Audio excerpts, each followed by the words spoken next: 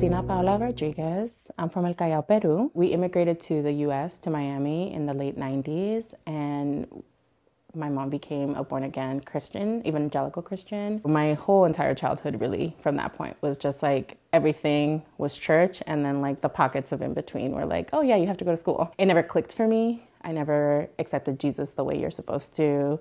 I never like felt the spirit the way you're supposed to. And then as I got older, I got really into dance and theater. Specifically in middle school, it was like heavy dance and then theater in high school because I went to performing arts centered high school. In high school, everything shifts because the school is just much more important. You're planning for your future, and then sort of combining that with having to go to church three or four times a week became much more of a big deal. So it was like having to convince my mother that like school was important. And for me, I was like, I just want to do theater every day. Like, how can I make this happen? And then my time in church was also difficult because the kids who were my age who went to church, who I actually went to school with, definitely like were fully in to that evangelical experience. We're fully into like we are like the children of God. In that like pocket of time, I met my best friend at the time and she was like this amazing person that I wanted to spend all my time with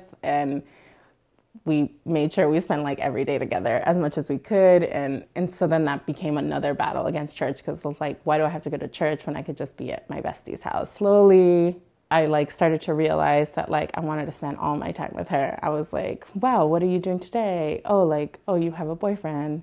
That's cool but like we should hang out.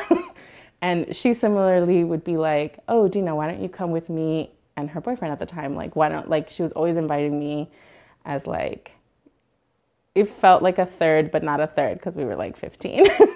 and then we were like hanging out at school at like her house once, and it just like, I don't know how, but like she kissed me, and I was like, huh, what is this feeling? what is happening? And up till that point, I had no moment of thinking of my sexuality. And I, of course, then like walked home and was like spiraling. Like I was like, what is this feeling? Oh my God, like what's going on? And then I remember the next day in school, it was as if nothing had happened. And then how we usually went home, I mean, we went to our house. It was like, it like flipped. As soon as we walked into our house, it was very like, like we were in love. It was this very like beautiful moment because it had no shame. There was just like, oh, I'm gay. Okay, that's awesome. Maybe that's why like I felt like different in my family or different in my church experience or different with like the kids that I had grown up with. I was like, oh, this is like such a relief. Um, and then I went home and I had like insinuated to my mom that I might have feelings for my friend. But I hadn't said, oh, I'm gay or I'm a lesbian. I had just like sort of insinuated that it may be something that I felt. Uncoincidentally, like the next week when I was about to go on a theater competition, she was like, you can go to this, but you have to go to church camp if you want to go. So I went to church camp and when I got there, it sort of like slowly dawned on me that every kid that was there was like struggling with something, very different things, right? Like whether it was like divorce or like some sort of substance or just like general teenage angst. We would go to these like really long church sessions for like what felt like eight hours, but maybe it was four. And like the whole time, they would preach and preach. And at the end of each service, they would ask the kids to accept Jesus into their hearts. So when you're evangelical, you go to the front of the church people lay hands and usually you feel the spirit. And by that it means that you like fall to the ground and you're reborn. And so it came to the end of that week. What was i think it was like a, a, a long weekend church camp thing. And i was on the very short list of kids who had yet to feel the spirit. So they brought us up. I'm slowly i'm just seeing everybody fall feeling the spirit.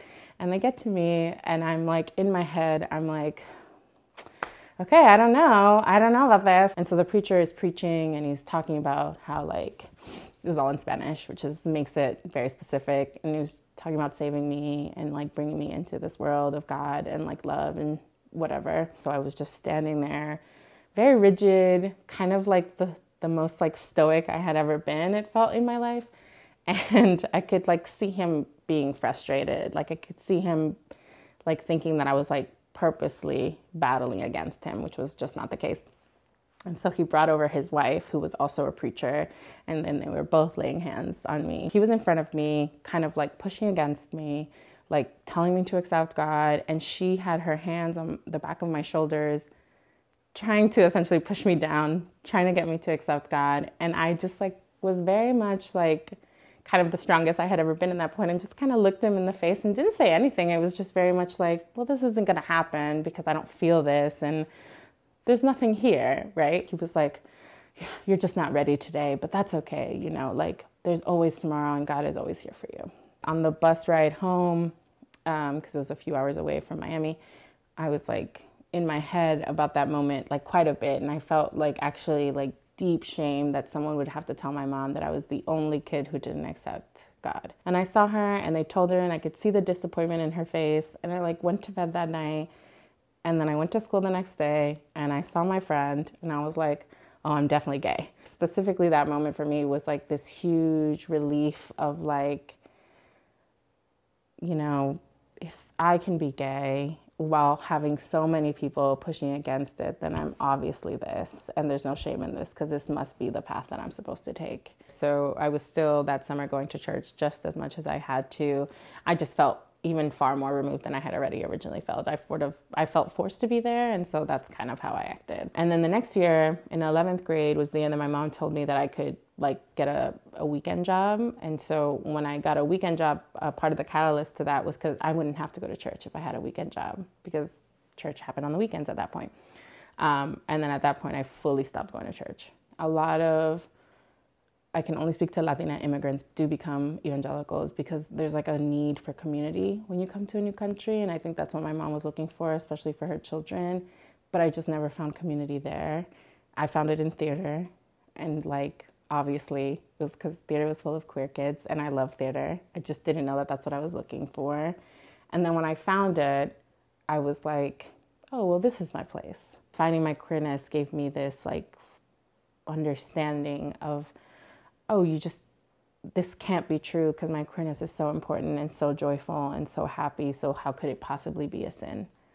So it gave me the like, the moment of liberation of being like, you were exactly right. Of course, you couldn't buy into this because you're nothing about your queerness is wrong.